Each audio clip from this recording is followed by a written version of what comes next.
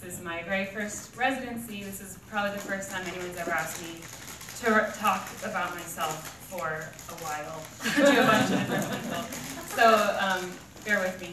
I, I work with I work with teachers a lot of the time my, my job, my day job, the Art Mobile of Montana, which is also funded by National Endowment for the Arts.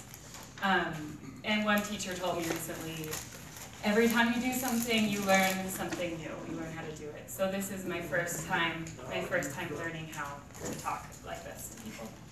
Um, okay, so uh, he mentioned the the essay that I wrote for that for the Montana Quarterly. Um, it was it's called Counting by Twos, and it's it's about my time that I had last year um, working and teaching art, uh, teaching high school art at a little school in Nashua, Montana. So I'm from Glasgow, and Glasgow's on the High Line in northeastern Montana, population 3,000, and Nashua is about 14 miles east of, of that. Um, that, that population in Nashua is 300 people. Um, and so I, I didn't have any education training. Um, they were in desperate need of an art teacher. Um, so I said I'd come, and I had just graduated my undergrad. And so I show up, I show up in Nashua, and I don't know what I'm doing by any means, like at all. I have no idea how to write a lesson plan. Um, just start kind of, just start doing it. And um, it was really fun. It was really rewarding, and it was also really intense. So the the essay was about that. It was about that intense experience. Um, a lot of the things that I wrote about Nashua were a critique, a critique of the area and of the culture. And the reason I was able to see those those complexities um, were because I, am not just a northeastern Montanan. I, I, it's not normal to me anymore. I grew up there and I can see it and I can understand it. And um, I know the people so well, um, even if I never met them before. But also I have this really complex um, self-identity. And um, just like Montana, Montana is not just one thing. We are not just you know, the eastern side of the state and the western side of the state like it seems it has become. Um, it's, a, it's a lot more complicated than that. And I think that writing nonfiction is how we can kind of bridge that divide and communicate across state, across the state and across, um, across personal divides. So that, that's how I was attempting to come at my essay about Nashua, seeing, seeing the problems of a community like that, a beautiful community that I love, but with fresh eyes and being able to point out some of those issues. So um, so that's kind of what I want to talk about today is the importance of having this um, using your using your multifaceted identity to see through um, to see through the the things we take for granted and the things that we find to be normal. Um, okay, so I grew up uh, in Glasgow, like I said, and I'm the youngest of six. Um, my dad grew up in Hinsdale, Montana, which is 30 miles or yeah, about 30 minutes west on the High Line as well on Highway 2. Um, and his grandparents homesteaded in the area, and we are Swedish, and it is very much, you know, we are, that part of my family is very much northeastern Montana. Um, but my mom is from Texas, she's from Houston, and so living in that area was really difficult for her. I mean, she's um, she's always she said a lot that opera was her lifeblood. That's you know she just loves opera and symphony. So she would take um, she would take us up to Canada to see the orchestra and to see the symphony, and she'd take us to Alberta Bair and Billings to see the ballet. And I think that there were there were some other people in town that were like that and had childhoods like that, but it was something that we never were able to take for granted because it's not like we were going on vacation and staying in fancy hotels after the ballet. I think that sometimes we drive right home um, after getting the ballerinas to sign our programs and um, getting you know so excited. Um, so uh, so we had that. We, we listened to like the, the the soundtrack of my childhood was Les Miserables and Big River and Phantom of the Opera. and we would travel. I saw Big River at the Alberta Bair, and it was amazing. Um, and we also were a big part of the Fort Peck Theater in northeastern Montana. So my mom, having her arts background, she planted herself firmly on the Fort Peck Fine Arts Council. Um, and she was on it, I think, for the longest anyone has ever been on that board, 30 years or so. And um, yeah, and so my like all of us, all six of us, actually all eight of us, because my parents both took part as well, did the theater my whole life. So I mean that definitely built a strong foundation for the arts in my life, and probably separated separated my experience from the rest of the people that I knew and that I grew up with in the area. Um, so let's see here. um, but my dad Oh, right. So, okay. So we're, we're listening to music, we're going to the plays, we're doing all of this. Um, I, you know, could sing so many musicals right now, from probably beginning to end. But I, I also um, read a lot.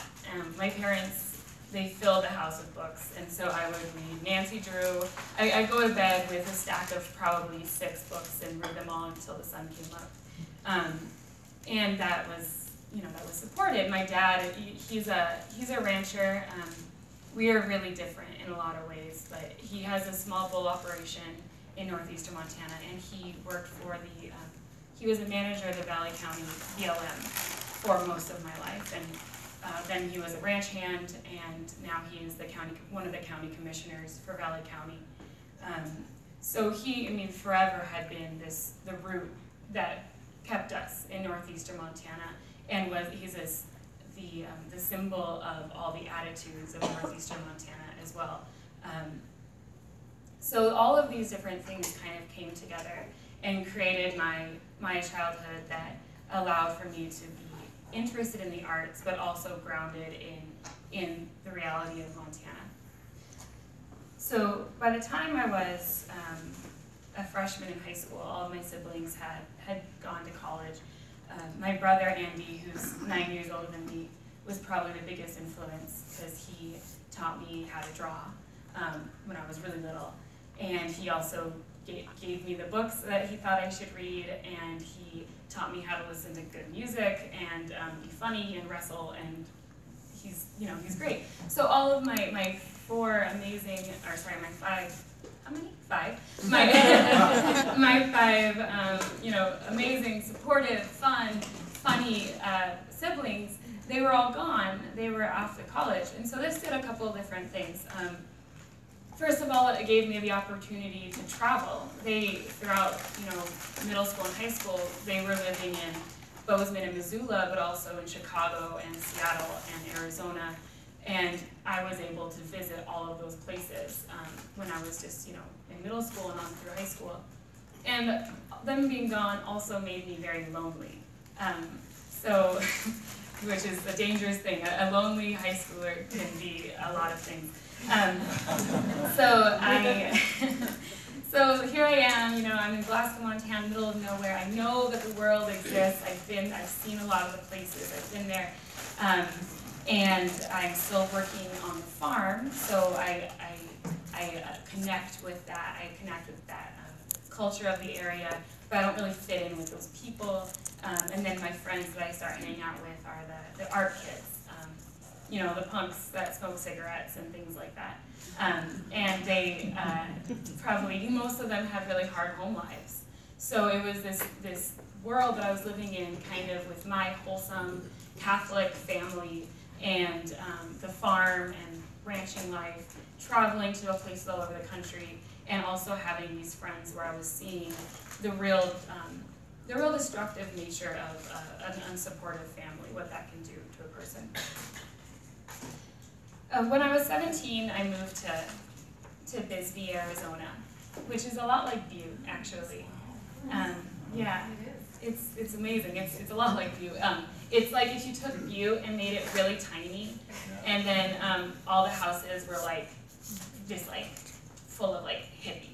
Like, and, and they're all just like bright pink and bright blue, and it, it's really beautiful. But it's a tiny little town. So I lived there my fresh or my first semester of senior year of high school. So this is a while ago. Um, and my sister, it was her first year teaching. She was teaching fifth grade. And the town, I mean, the poverty level was, you know, just heartbreaking. Um, and I was, for the first time, had friends of different backgrounds. You know, people were speaking Spanish, and like I was noticing all these things about about the place um, that they didn't notice, right? So this is kind of going back to this idea of um, being able to tap into the things that you recognize in a person and and seeing something about themselves that they can't see themselves. Or um, having coming from a small town understanding the importance of the state and the landscape and where you're from as a part of your identity and then going to another place and taking all of that knowledge with you in order to relate to these new people. And then you can you can see in those new people something that they don't see in themselves. And that's kind of that's what I started noticing in Arizona was I was I was taking um, notes, basically like physical notes, probably in journals and things of all the stuff that I noticed every day that the people there probably didn't couldn't have told me themselves or, or wouldn't really be that interested in seeing unless you wrote it really well. So I'm gonna get to that in a second. Um, um, see here. Yeah, uh, for one little anecdote of living in Bisbee was, I was um, I was in class and one of the te a teacher said, okay, everybody in here, I want you to really understand um, poverty. So like, I mean, raise your hand if you've ever actually never known when your next meal was gonna come. And she expected like no one to raise their hand, but pretty much everyone did. Um, and so then that, that, that thing, I noticed that and I carry that story with me. And those little things that you can notice are, are what makes your stories come alive, right? And that's, that's what I think is important about nonfiction. Um, let's see here. So, so when I lived in Bisbee, I missed Montana for the first time. And I think that was really important for who I am now. Um, I had I had lived in, in, you know all through high school. I hated it. I hate living here so much because I'm a teenager. And and but then I, I left, and for the first time ever, I just wanted to go back so bad. And I think that my obsession, I have this obsession now with Montana, and just with um, with landscape as identity in general, and that's where that started. Um, having that passion, having that that feeling. Um, so when I got back to Glasgow, even though I missed it, I had my my teen angst, you know, rose about 100%. And um, it was really hard. I mean, I was 18. I didn't feel like I belonged anywhere. Um, and my, my high school friends that um, I mentioned were, they were like getting into drugs and things were looking really bad in a lot of ways. And I was working two jobs and going to like two classes a day. And um, even though it is just, honestly, just teen angst at the time, it felt really real. And um, so I've been reading through this collection called Ernest Hemingway on Writing. It's what it sounds like. It's a, um, a collection of snippets of letters by Ernest Hemingway, because um, he never wrote a book about writing, but he wrote about writing a lot in letters to other people. So um, here's a, a, little quote um, about suffering in a letter to F. Scott Fitzgerald. Uh, forget your personal tragedy. We are all bitched from the start, and you especially have to hurt like hell, have to be hurt like hell before you can write seriously. But when you get the damned hurt, use it. Don't cheat with it. Be as faithful to it as a scientist. But don't think anything is of any importance because it happened to you or anyone belonging to you.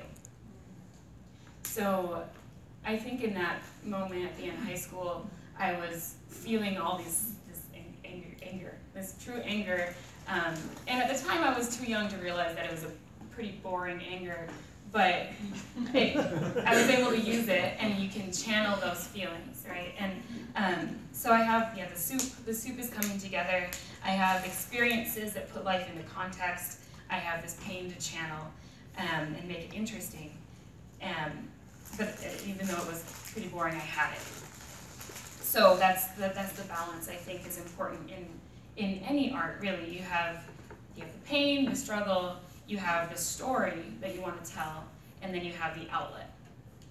Um, my friends that I mentioned, they were, you know, they were art kids. They had, they had talent and they were smart, um, but they eventually lost themselves in their frustrations. They didn't have, they didn't have the outlet that I had. Um, and the reason I was able to have it was because it was provided to me from my family. So um, I ended up drawing a lot. I mentioned my brother taught me how to draw when I was little, and I ended up doing that all the time. That was, you know, what I assumed to be my identity. And even though I was, I was also writing. Um, I was journaling, and it, you know, it's it's hard to write anything that anyone wants to read, especially when you're a teenager. So I was writing bad poetry. Um, I was writing how I felt. Oh man, I feel this way. I feel this way. Um, and I was drawing. So I chose drawing. I went to school at the University of Montana um, to to draw, to do art. Apparently now people tell me that they always knew I wanted to be a writer, but I didn't know that at the time. they, they saw something I didn't, I guess. Um, so after a year of art school, I moved to Washington. I lived in Bellingham for a year. Um, and then I came back to school and quickly changed to creative writing. Um, immediately, it was a nonfiction class I took um, that it was just obvious. It was just so clear and that while I was there that it was what I wanted to do. I think a big part of it was because I wasn't, I didn't know how to do it very well, and I wanted to. It was like, am I gonna go through college, home, like continuing to draw, continuing to do something I feel confident in, or am I gonna go through college doing something that I've never done before and getting better at something that seems really challenging? And I did. So that's that's what I chose to do. I chose to, to focus in nonfiction. And I, I kept noticing things. Um, I was a little bit older than all of my peers because I had switched majors and taken a year off. So I just watched them like a scientist and thought about all of their habits and their social circles. And I was only two years older than them, most of them, but still, I just was so fascinated. And I think that that, that noticing is what's so important. Um, so yeah, so to get to get good nonfiction, you have to at least the, the kind that I do, you have to live a life that's worth worth telling, worth noticing. Um, and that doesn't mean you have to be cliff jumping every day or doing, you know, what some artists seem to think they have to do is burn out, you know, you have to do crazy stuff all the time. I don't believe in that at all. Um, that kind of crafted drama doesn't appeal to me. To get those good stories, you need to amp up your noticing because the stories are everywhere. Um, I've heard that if you're the smartest person in the room, you have to find a different room. and I think that that applies. That applies to a lot of things. If you're the most interesting person in the room, that's you know that's not a good place to be. But you're not going to find a story there. You have to find a different room. Um, so, yeah, I mean, especially if you look, if everyone around you is yourself. If you're, when I was in college, I would look around, I would see, you know, a room full of people that were my age and interested in writing, and we were all looking at each other for stories. And It is like nothing new is going to come out of this room. Mm-hmm. This is nothing good. I'm not saying nothing good could happen, but it's not going to be something that lasts forever. So I moved to Nashua. Right? That was part of the um, part of the appeal of teaching in Nashua was, for one thing, it was a job, and I was recently graduated, but also it was just, you have to take opportunities like that. Um, and then when they're really hard, you have to write it down. So, um, okay, so for example, another, another example of, of finding those stories. When I was living in Nashua, I happened to find this girl who's my age, didn't grow up there. Um, she became my really good friend for the month that we lived there at the same time. And she, uh, she digs for dinosaurs in central Montana um, and is like obsessed with YouTube. So I mean, this person, she's so different from me. You know, like we would hang out in her apartment or in her little house, and she'd be playing video games, and I just sit and watch her because I mean that person is so different from me, and uh, what more could you ask for? Um, and she's, she's amazing. And then I, I got to I visit her lab where she was working on the dinosaur bones and learned all about the dinosaurs and how they, how they, um, they make the, the bones stronger and how they put them together and what kind of mounts they use. And then they, I got to go to her dig site in Big Sandy and dig up dinosaur bones. I digged up a, I dug up a, uh, oh my gosh, a hadrosaur rib. That was my contribution to the, the thing. Um, so that, that that's you you put out your weird antenna, your antenna for the people that are not like you, and then when you find them, you commit to them. That's that's my way of that's my way of doing things because, like I said, I mean, if you're surrounded by people just like you, where's what's interesting, you know?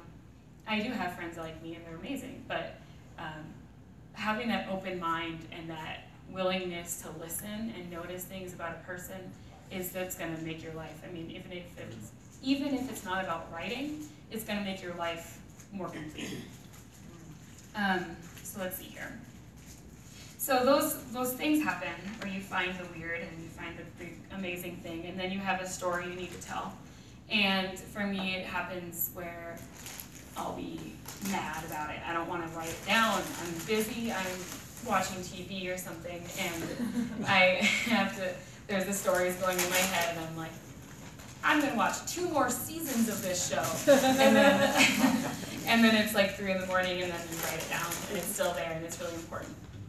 Um, so here's a quote from Richard Hugo, my favorite poet, um, Montana poet, uh, from his book The Triggering Town, which is the I think it's my favorite book about writing.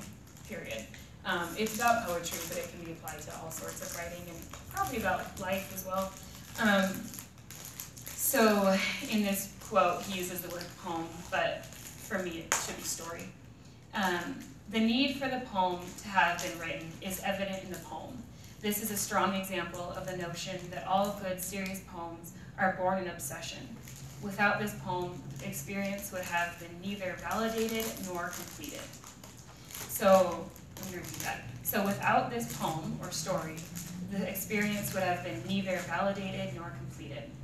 And I think that's, at least for me, that's, that's where it all comes from, is this feeling to validate and complete your experiences by, by writing it down and making it real, um, making it something you can share, and also putting into a larger context.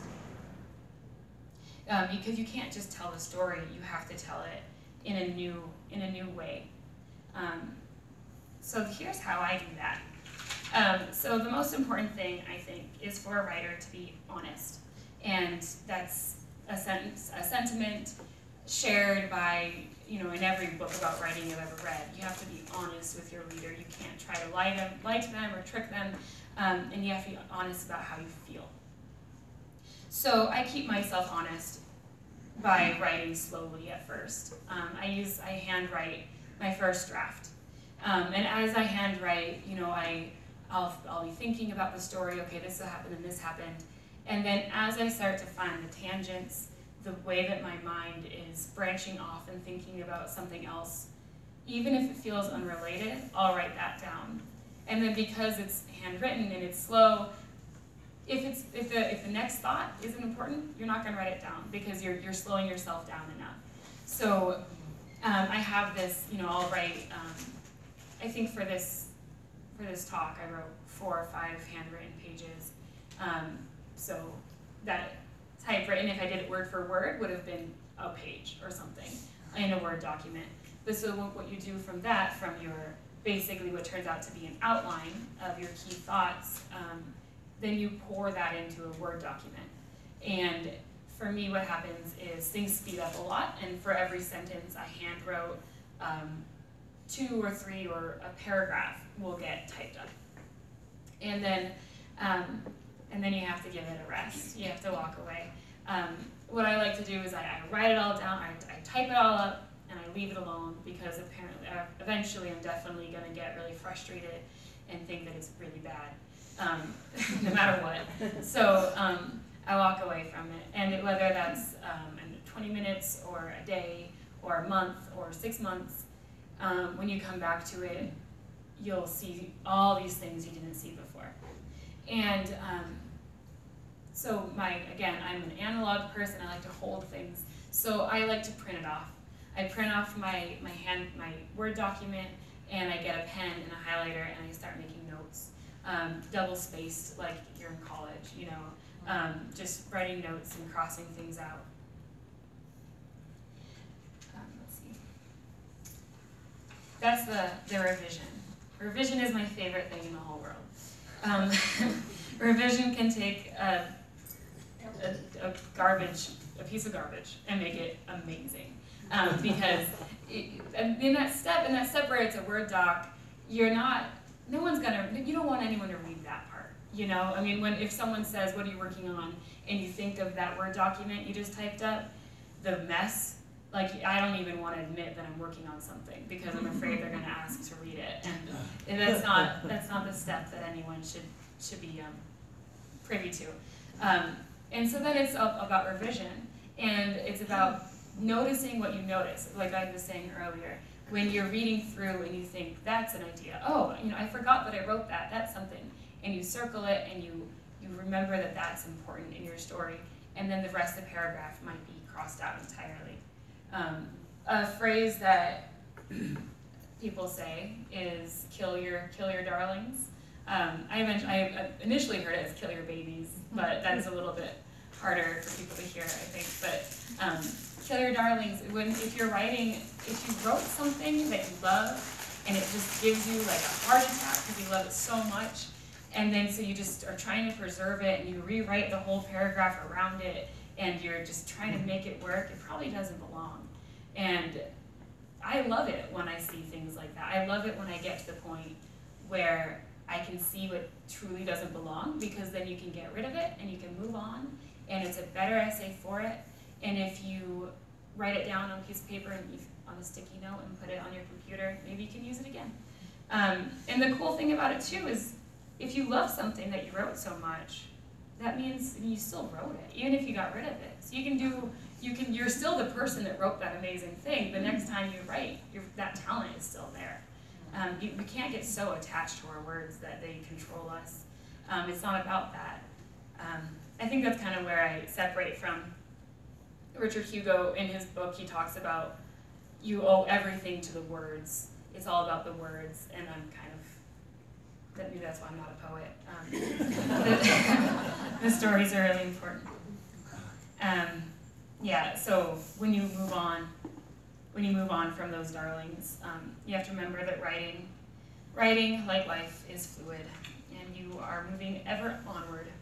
You need to be confident, not in love with yourself. Um, and then, what happens is you probably, or for me, don't, it doesn't get published oh well, you know, that's, that's how I think about it. If you're doing your job and you're writing enough, um, if a tenth of the things that you write get read by someone, then you're doing a pretty good job. If you're writing enough, you know, then that's, that tenth is a substantial amount. Um, and I feel good about that. I think it's about um, uh, defining your own, defining your own success and what success means to you. If success for me was getting a collection of essays published like a book, would I would I be a failure until then? You know, so success for me is um, is writing and writing well, and that's that's where I keep it. I keep it simple like that.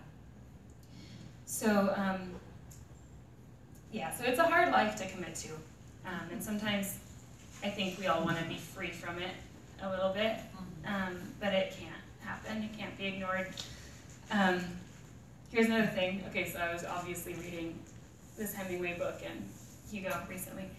Um, Hemingway said Dostoevsky was made by being sent to Siberia. Writers are forged in injustice as a sword is forged. Um, so that kind of brings us back to what we were talking about with, you know, National Endowment for the Arts. Um, right now, injustice is everywhere, and we're all feeling it, and everyone's really mad. And Montana is, like I said, I'm pretty obsessed with Montana, and it is almost like you can draw a line down the center and and say one side is this way and the other side is this other way. Um, and it's not true. Um, like I said, my dad, my dad is, I probably do everything for my dad, um, because we're so different and because I just, you know, um, so I write, I write for my dad because I think that if we can figure out a way to communicate across those lines and tell the important stories that we, we feel are important, and you can do it in a way that is relatable because we are complicated people with complicated identities, we can do real good in the world. And I think about um, those boys in high school, the problems, I think of them as the problems sometimes. Um, because they were so good in so many ways, but they didn't have that outlet to, to save themselves with. And why didn't they have that outlet? Well, because they didn't have the support. And I'm lucky enough because I have my family and they're amazing, and not everyone has that. And if we cut off the rest of the world from our deep belief in the arts, then we're creating this monolithic identity. We're, we're like giving the people that don't have access even less access to why the arts are so important. And that's why we have to keep writing and have to keep making art. And even if we're not talking about politics, we're not talking about art, having a way where someone in Glasgow, Montana is going to pick up my essay and say, this is really good. Oh, I respect this young writer. It's pretty cool that a young person is able to write. That simple thought, um, being available in a place that is so dry um, for art, can create this climate of, of artistic ability and creativity and support for young people. Um, obviously, I mean, I have gotten into education unexpectedly. I didn't think that was going to happen. Um, so now even more, everything that I that I do, I think about the young people and how they can be saved, like literally saved, um, from the arts. So we have to lead by example. And writing, writing for our, for our cool hipster friends, um, that's not going to change the world. Um, writing, right, uh, I'm not that interested in writing online for, you know, writing reviews for cool movies. That doesn't really get me because I'm not accessing, accessing the people that think differently from me. Um, okay, let's see if I have anything else. Yeah, so I guess um, I feel like even I have to choose sometimes between my identities. I, I live in Missoula, you know, and I grew up in Glasgow. And people in Glasgow say, why do you live in Missoula? This place full of weirdos.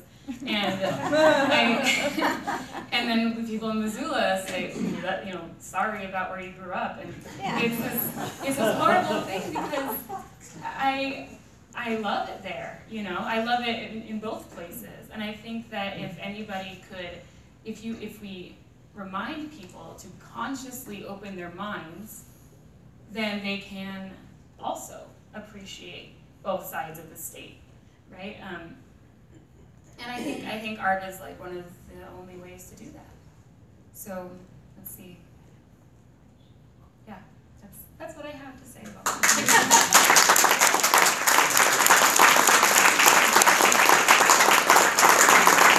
So um, we have a little time for a question and answer. I'm Carson Becker. I'm the program director for the Root and the Bloom Collective with my cohort, Kelsey Stratton. So, reminder, Tess is going to be reading at the Clark Chateau in the ballroom this Saturday at seven PM. Six. Is it six? Oh, it's six, sorry. Six p.m. Six. Six, Six, thank you. And I think I'll be reading that essay that I wrote for the quarterly. So I talked about that today. So if you're interested. Yeah. Um, so, uh,